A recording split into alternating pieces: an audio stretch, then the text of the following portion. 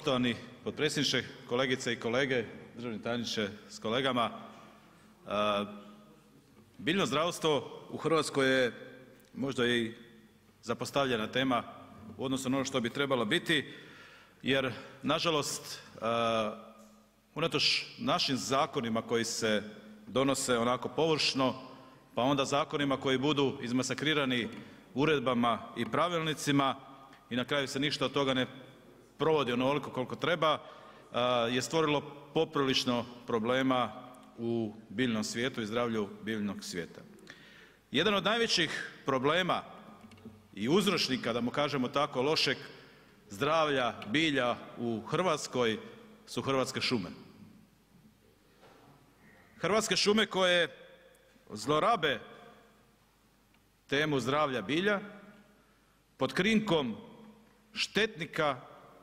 ili nekih bolesti ne da vrše sječu nego kose šume.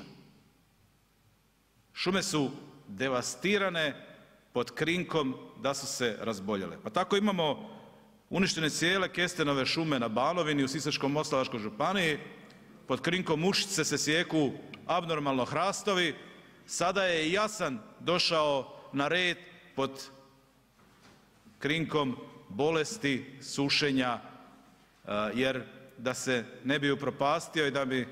ga se iskoristilo treba ga posjeći prije nego se on osuši, takav je stav Hrvatskih šuma. Dokaz tome je da Hrvatske šume ne mogu isporučiti dovoljno mase koja se nažalost drobi u sječku, koja se izvozi iz Hrvatske i na tome naše susjedne zemlje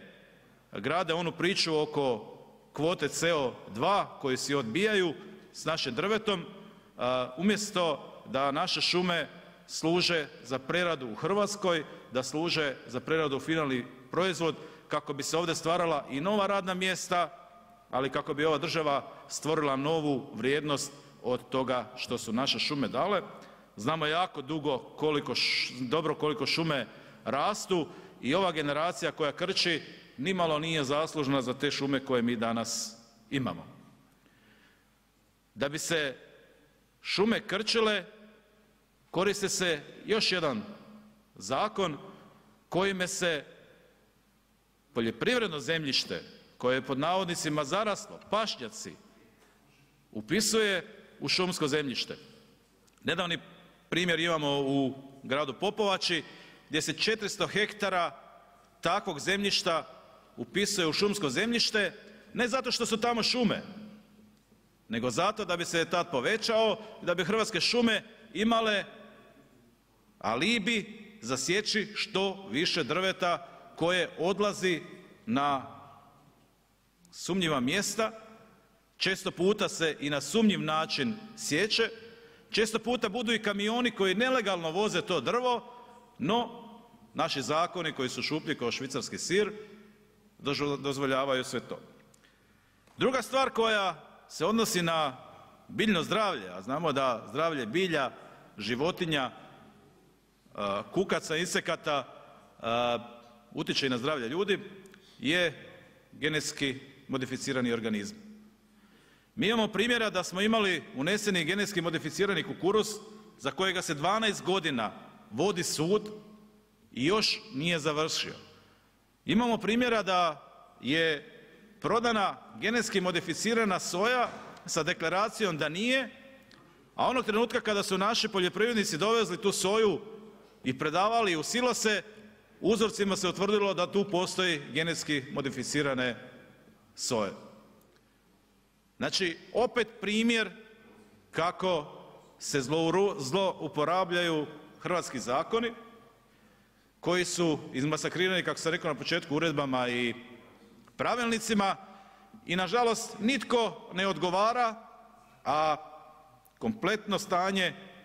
biljnog zdravlja svakog dana je sve lošije.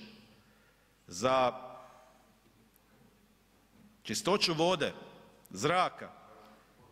kukaca koji možda nam nisu toliko bitni na prvi pogled, ali moramo shvatiti da bez njih nema niti čovjeka, ne vodi se nimalo računa, već se vodi samo računa o tome koliko će se izvući